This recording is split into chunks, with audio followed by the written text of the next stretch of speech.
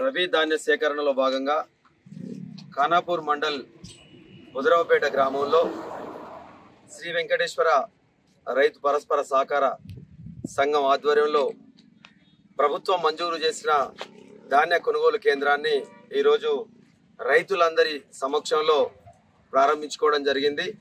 ఈ గ్రామంలో ఇది మూడో సెంటర్గా ఆ, ధాన్య సేకరణ కోసం ప్రారంభించడం జరిగింది. ఏదైతే రైతులు ఆరుగాలం కష్టించి పండించిన పంటకు ప్రభుత్వ మద్దతు ధరతో కొనుగోలు చేయించాలి.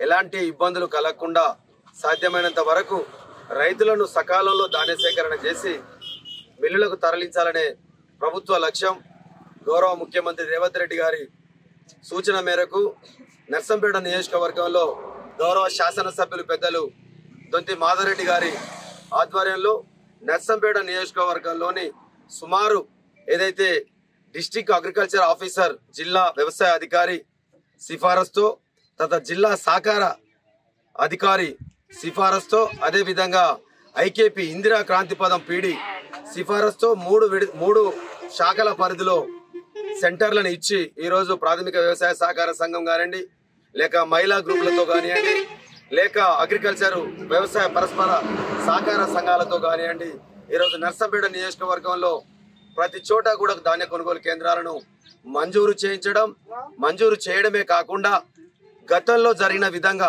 ఏదైతే రైతులు నూర్పిడి చేసుకొని తీసుకొని వచ్చి ఆ కొనుగోలు కేంద్రాల కోసం అక్కడ రోజుల తరబడి నిరీక్షణ చేసి ఏదైతే ప్రభుత్వ నిబంధనలకు లోబడి అంటే మ్యాచర్ పర్సంటేజ్లో కానివ్వండి తాలూ తరుగులో కానివ్వండి ఏదైతే వారు పేర్కొన్న నిబంధనలు లోబడి తెచ్చిన రైతును కూడా గతంలో ఇబ్బందుల పాలు చేసి ఉన్న సందర్భాలు మనం చూసాం. అలాంటి ఇబ్బందులు ఎక్కడ కూడా జరగకూడదు. ఎందుకంటే ఈరోజు రైతు ప్రభుత్వం ప్రజల ప్రభుత్వం కాంగ్రెస్ ప్రభుత్వం ఈరోజు అధికారంలోకి వచ్చింది. తప్పకుండా తొలి పంటగా రబీ పంట ఈరోజు రైతుల చేతికి అందబోతా ఉంది పూర్తి స్థాయిలో. కాబట్టి ఈ యొక్క పంటను రైతులకు సాధ్యమైనంత ఇబ్బందులు కలిగించకుండా సేకరించి మిల్లులకు తరలించాలనే కాన్సెప్ట్తో గౌరవ శాసనసభ్యులు మాధవ పెద్దలు మాధవరెడ్డి గారు కూడా నిన్న రెండు రోజుల క్రితం కూడా మిల్లర్లతోటి తర్వాత జాయింట్ కలెక్టర్ సంజయరాణి మేడం గారితోటి కలెక్టర్ ప్రావీణ్య మేడం తోటి అదేవిధంగా జిల్లా డిఎస్ఓ గారితో కూడా నిన్న ఉమ్మడిగా మొన్న మూడు రెండు రోజుల క్రితం వారితో మాట్లాడి సెంటర్లను విజిట్ చేసుకుంటూ కూడా ఏ విధమైన సేకరణ జరుగుతూ ఉంది రైతులకు ఎలాంటి ఇబ్బందులు కలిగించకుండా మీరు అధికారుల మానిటరింగ్ రెగ్యులర్గా ఉండాలి క్లోజ్గా ఉండాలి చాలా దగ్గరగా ఉండాలి అని చెప్పి కూడా గతంలో వారు పేర్కొనడం మూడు రోజుల క్రితం పేర్కొనడం నిన్న గౌరవ జేసీ గారు కూడా మొన్న ముద్రాపేట సెంటర్లను కూడా సంజరాణి మేడం గారు కూడా సందర్శించడం కూడా జరిగింది వారు కూడా పేర్కొనడం జరిగింది. అంటే ఈ యొక్క పరంపరలో ఏదైతే ఎందుకంటే కాలం నెత్తి మీదకి వస్తూ ఉన్నది ఈ యొక్క అంటే కడగ రకాల వర్షాలు గడిచిన నాలుగు రోజులుగా ఏ టైంలో ఏ సమయంలో ఏడబడుతుందో తెలియని పరిస్థితి వస్తూ ఉంది కాబట్టి కొనుగోలును వేగవంతం చేయాలి.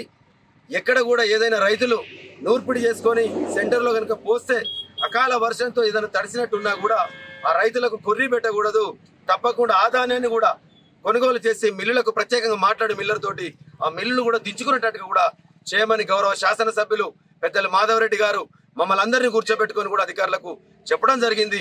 ఆ పరంపరలో ఈ రోజు అన్ని సెంటర్లను కూడా అన్ని సెంటర్లను కూడా సందర్శించుకుంటూ ఈ క్రమంలో ఈ స- ధాన్య సెంటర్ను కూడా ప్రారంభించుకోవడం కూడా జరిగింది కాబట్టి దయచేసి ఏదైతే ప్రభుత్వం పేర్కొన్న ప్రకారంగా ప్రజలు ఆశించిన ప్రకారంగా రైతులు ఆశించిన ప్రకారంగా రైతుల దీవెనలతో సామాన్య ప్రజల దీవెనలతో ఈరోజు గౌరవ ముఖ్యమంత్రి గారు రేవంత్ రెడ్డి గారు అధికారంలోకి కాంగ్రెస్ ప్రభుత్వం రావడం జరిగింది. ఆ పరంపరలో ప్రజాపాలన రైతు పాలన అందిస్తామన్నారో. ఆ విధంగానే అడుగులు వేయడం జరుగుతా ఉంది. ఈ కొనుగోళ్ళతో పాటు వచ్చే ఆగస్టు పదిహేను తారీఖు లోపు రెండు లక్షల లోపు రుణాలను మొత్తం కూడా మాఫీ చేస్తామని కూడా గౌరవ ముఖ్యమంత్రి గారు స్పష్టంగా గడిచిన పార్లమెంట్ ఎన్నికల ముందు కూడా పేర్కొనడం జరిగింది. ఈ కోడ్ అనంతరం ఆగస్టు పదిహేను లోపు మాఫీ మాఫీ చేయిస్తా అన్నారు. నిన్న ఓట్లు అయిపోయిన మరుక్షణం తెల్లారి నుండే సంబంధిత శాఖ మంత్రి వర్యులు తుమ్మల నాగేశ్వరరావు గారితో సంబంధిత శాఖ ప్రిన్సిపల్ సెక్రటరీ తర్వాత సెక్రటరీలతో కూడా ఉన్నత స్థాయి మీటింగులు జరుపుకుంటూ కూడా వాటికి నిధుల సమీకరణ మాఫీ ఎంత అవుతుంది ఏ విధంగా దాని కార్యాచరణ ప్రకటించాలని చెప్పి కూడా ఈరోజు కార్యాచరణ కూడా సిద్ధం చేయడం జరుగుతూ ఉంది.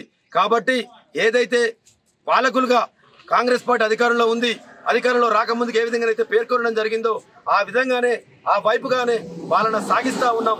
రైతుల మేలు కోసం రైతుల బాగు కోసం వారి కోసం ఎంతకైనా కూడా కాంగ్రెస్ ప్రభుత్వం తెగిస్తుంది. మీ ద్వారా ఒకటే విన్నపం దయచేసి దయచేసి ఈ సన్న ధాన్యాలు దొడ్డు ధాన్యాల కాడ ఎక్కడ కూడా మిల్లర్లు కొంచెం ఏదైతే అవుట్ అండ్ కాడేదని చెప్పుకుంటూ వచ్చి కొంత కొర్రీలు ఒక రకం సన్నధాన్యాన్ని దించుకునే క్రమంలో మాకేదో నష్టం జరగబోతా ఉందని చెప్పుకుంటూ కూడా కొన్ని చోట్ల ఇబ్బందులు పెడతా ఉన్నారని తెలిసింది. దయచేసి మీకు అవుటన్ అధికంగా వచ్చినా రైతు ఎక్కడ కూడా అడగలేదు. అవుటన్ ఒక అరకిలో కిలో తక్కువ వచ్చినా దయచేసి అర్థం చేసుకోండి మిల్లర్లు కూడా. ఈరోజు కాంగ్రెస్ ప్రభుత్వం అంటే వ్యాపారస్తులతో పాటు రైతులకు అన్ని వర్గాల ప్రజలను సమపాలనలో సమదృష్టితో చూసే ప్రభుత్వం తప్ప ఎక్కడ కూడా ఎవరికి ఏ విధమైన లాలూచే అవసరం లేదు. ఎవరికి ఏ సింగిల్ ఛాయ్ దాయించాల్సిన అవసరం లేదు. ఆ మేలేదని ఉంటే అది రైతుకే చెందాలి. లేక వ్యాపారస్తుడికే ఉండాలి తప్ప మధ్య వ్యవస్థను బ్రోకర్ వ్యవస్థను ఎక్కడ కూడా గత ప్రభుత్వం లెక్క గత పాలకులు లెక్క ఎంటర్టైన్ చేసేది లేదన్న విషయాన్ని కూడా మీకు తెలియపరుస్తా ఉన్నాం. దయచేసి మిల్లర్లతో కానివ్వండి లేక ఇంకెక్కడ సంబంధిత వారితో కానివ్వండి ఎక్కడ ఇబ్బంది కలగకుండా జిల్లా అధికార యంత్రాంగం కూడా జిల్లా అధికార యంత్రాంగంతో పాటు డివిజనల్ అధికారులు కూడా డివిజనల్ అధికారులు కూడా ఎప్పటికప్పుడు మానిటరింగ్ చేసుకుంటూ గౌరవ ఆర్డీఓ గారు గౌరవ తహసీల్దారులు అందరు కూడా మానిటరింగ్ చేసుకుంటూ ఈ పదిహేను రోజులు పూర్తి స్థాయిలో ఇక్కడనే కాన్సన్ట్రేషన్ పెట్టి ట్రాన్స్పోర్ట్కి ఇబ్బంది లేకుండా వాహనాల వాహనాలను ఏర్పరిచే క్రమంలో కానీ ధాన్యం సేకరించిన దాన్ని తరలించే క్రమంలో దిగుమతి జరిగే క్రమంలో కూడా ఎక్కడ కూడా రైతుకు ఇబ్బంది కలగకుండా ట్రక్ షీట్ల మార్పిడి జరగకుండా ఇక్కడ నిబంధనలు లోబడి ఏదైతే కాంటా పెట్టారో ఆ కాంటా పెట్టిన ధాన్య బత్తాలను కూడా సకాలంలో దించుకుంటూ రైతులకు మేలు చేయాల్సిందిగా మరొకసారి మీ మీ ద్వారా కోరుకుంటూ అదే రీతిలో కాంగ్రెస్ ప్రభుత్వం మాధవరెడ్డి గారు శాసనసభ్యులు గారు కూడా రైతుల పక్షాన ఉంటాడు.